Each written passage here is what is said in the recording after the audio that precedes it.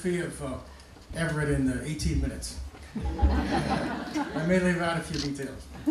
Um, Edward Hamlin Everett was an aggressive, wealthy, late 19th century American pre income tax entrepreneur and capitalist. He was born lucky, and luck held with him with rare exception until, until the end of his life. Let me count the ways in which he was lucky. First, he was born 1851 into a wealthy family and grew up in an atmosphere of privilege and ostentation. His father, a Cleveland doctor, died when he was three, but he spent a lot of time in his youth with his uncle Sylvester Everett, who was only 12 years older than he. Sylvester Everett was active in business and politics in Cleveland and later built a magnificent mansion along the legendary Euclid Avenue in Cleveland, Richardsonian Romanesque uh, mansion that would take a whole series of lectures to really describe. It was located in an upscale neighborhood, just a couple doors away from the mansion of John D. Rockefeller. Sylvester Everett also married well. His wife was a daughter of Jeptha Wade, the founder of Western Union Telegraph Company, and he was a major Cleveland benefactor. Second, Edward Everett's local connections with Bennington were also very fortunate. His widowed mother married Henry W. Putnam, who also had Cleveland origins, but had settled after the Civil War in Bennington. Putnam soon became one of this, lead, one of this town's most aggressive and prosperous municipal and business leaders. Putnam in 1872 built the Putnam Hotel and the Bennington County Courthouse next to it. He also built an elegant opera house diagonally across from his hotel. Unfortunately, it burned in 1975, 1957, sorry. Mm. And he founded this company's, uh, this community's hospital, where old timers here still call it the Putnam Memorial Hospital, now the Southwestern Vermont Medical Center. Putnam manufactured products here and had a national marketing network in uh, New York City. He gave his stepson, Edward Everett, his start in business as a salesman for his products. Third, Everett married very well. As a young salesman, he married the daughter of the owner of one of the glass companies he was selling to in Ohio. Her name was Amy King. In a very few years, he owned the company in Newark, Ohio, and soon changed its name to the E.H. Everett Company. And he was on the road to great riches. During the decade 1887 to 1897, Edward and Amy Everett had three daughters, Amy, Mary, and Anne. Fourth, Everett and his wife settled in uh, Newark, Ohio, a very fortunate location. Um, Newark had the right combination for business success. It had a central uh, Midwest location, had transportation, had water, had silicon sands from which to make the glass, it had coal, and a little later it had natural gas, which led Everett into investing in lucrative uh, gas and oil interests in Texas. And that led to more profitable investments in real estate. Fifth, in commerce, Everett was again lucky in surviving the Panic of 1893 and the Depression of 1896. He survived several strikes and several disastrous fires. But beyond all that, he was lucky in manufacturing a much needed product, glass bottles, for a beverage industry that was marketing itself nationally in a nation whose population literally doubled during his working life. The population of the United States in 1870 was 38 million. And 10 years and 30 years later, by 1900, it was twice that, 76 million. So remember, this was before um, automobiles or trucks entered the picture, and of course before aviation, but there was a mature network of railroads that had been established. By 1898, Everett's company was producing 30 to 40 tons of glass bottles every day. These were for beer, wines, liquors of all kinds, and in a great variety of sizes and designs. Six. Everett was lucky that he was pulling in a huge fortune before there was a significant income tax in the United States, which did not happen until 1916. And he was further lucky to be dependent on the beverage industry before the country passed a constitutional amendment that banned the sale and importation of alcoholic beverages. When Prohibition took effect in 1920, Everett by that time was well into retirement. In fact, that was the year he married for the second time. Seven. In 1907, when he was at the relatively mature age of 56, Everett and his wife and three daughters finally decided to use a bit of his fortune for pleasure. They made an extensive tour of Europe, and he bought a lovely large vacation chateau, a castle on the shores of Lake Geneva, which you just saw moments ago. Uh, his daughter Amy met an Italian count she would later marry. Um, eight, by 1911, at age 60, Everett decided it was time to retire, and he chose to do it in the most extravagant way possible. He hired the socially prominent architect in Washington, D.C., George Oakley Totten, who you just heard about, to build him a city house and a country house, both at the same time. And while these buildings were under construction, he vacationed at his castle on Lake Geneva in Switzerland.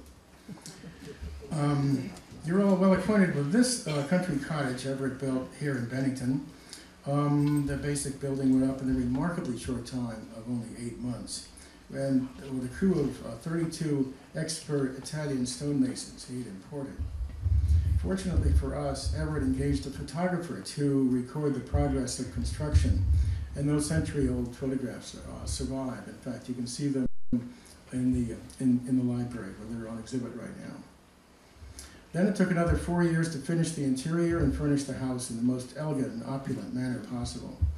Cuban mahogany paneling in the dining room, Italian marble for fireplaces and stairways, English silver for door handles, chandeliers, and wall lamps, paneling of oak on the first floor, maple on the second, and pine on the third.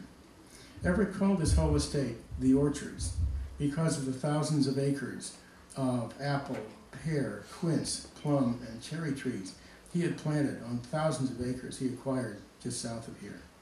His flair for horticulture on a massive scale would, could be the subject for uh, a whole series of lectures itself.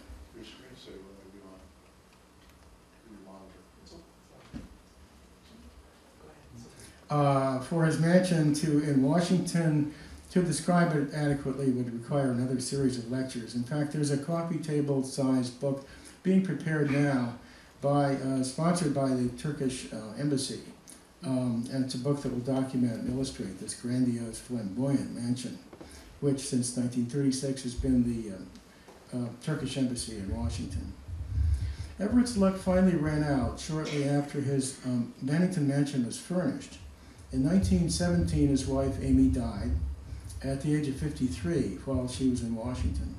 She became the first person to be entombed in the elaborate mausoleum, a half sized Greek temple he had thoughtfully built for himself out of granite, not, not marble, in the Park Lawn Cemetery uh, across the valley here in Bennington.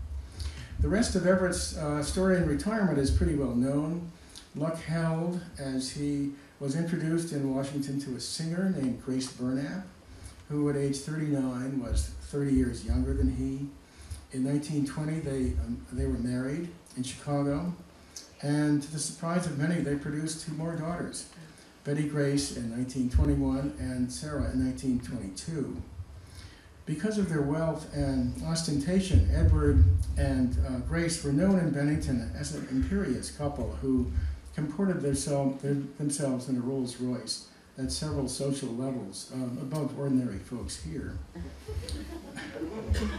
An unusual uh, attribute of Everett's was that despite his great wealth, he was not especially known uh, for his benefactions, with, with one or two exceptions. Um, and um, the, the author of the forthcoming book on the, on the Turkish embassy uh, was here a few weeks ago and, and uh, told me one example of uh, Everett's benefactions that I hadn't known about.